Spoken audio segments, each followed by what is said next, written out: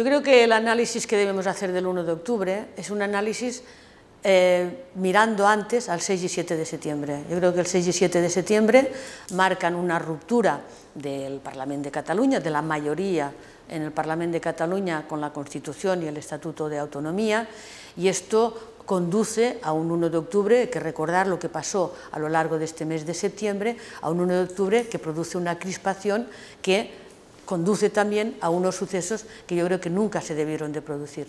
Nunca se debió de producir una confrontación como la de aquel día. Es evidente que la moción de censura marca un antes y un después. Es decir, hasta el día en que se produce la votación de la moción, estamos en un gobierno de confrontación, en un, gobierno de abierto enfrentamiento eh, con el gobierno de la Generalitat, y a partir de la moción de censura, la propia ciudadanía, percibe esa moción de censura como la apertura de un tiempo nuevo, tiempo nuevo más amable, más de búsqueda de la convivencia y los primeros pasos, los que hemos vivido en este mes del gobierno de Pedro Sánchez, conducen a este tipo de situación.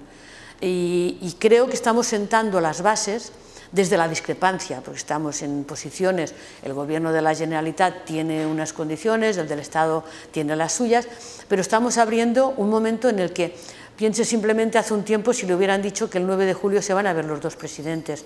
Hubiéramos dicho que era imposible. Ese es un paso importante y sabemos que no es el final, ¿eh? es el inicio de un camino en el que si hay predisposición y hay buena voluntad, esto tiene que ir bien. Veo positivo es que nos sentemos.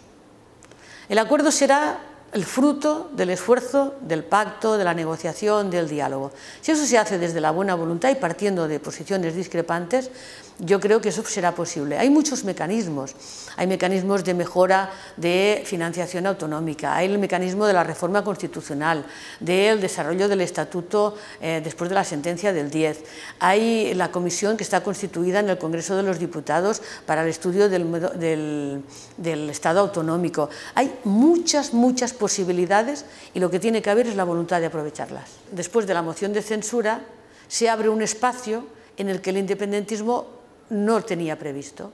Ellos tenían un discurso, un sistema, una manera de actuar de relación con el gobierno de España que era el de la confrontación y se encuentran ahora con un gobierno que no quiere la confrontación, lo que quiere defender su posición y la va a defender firmemente, pero con la voluntad del diálogo, del pacto y de buscar eh, que Cataluña esté cómoda dentro de España. Pero cuando decimos Cataluña, yo hablo de la Cataluña de los ciudadanos, de la Cataluña del 100% de los ciudadanos.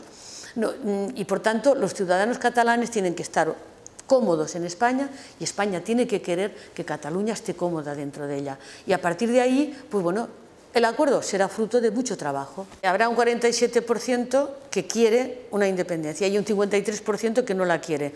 ¿El 47% es un bloque homogéneo? No. ¿El 53% es un bloque homogéneo? Tampoco. Por tanto, dentro de estas, porque dentro de los propios bloques, que es una cosa que a mí me, disgusta bastante hablar de bloques, porque entonces sí que habría de hablar de otra manera de relacionarnos que no es la que hay en Cataluña. Hay pluralidad dentro de los propios, de los propios votantes y estoy segura que en los dos sitios hay mayoría que quiere acuerdo, que quiere, pero si es que no hay que renunciar a la idea de cada uno. Aquí se trata de convivir sin renunciar a la idea. Se trata de convivir en un espacio donde todos podamos tener una vida de convivencia, de tolerancia, de respeto, sin renunciar a las ideas. ¿Pero por qué vamos a renunciar a nuestras ideas? Espero que el independentismo no piense que yo voy a renunciar a las mías, pero yo voy a trabajar porque el independentismo pueda defender las suyas. Y en el espacio común, donde todos nos podamos respetar, tolerar, y si luego al final nos queremos, pues perfecto.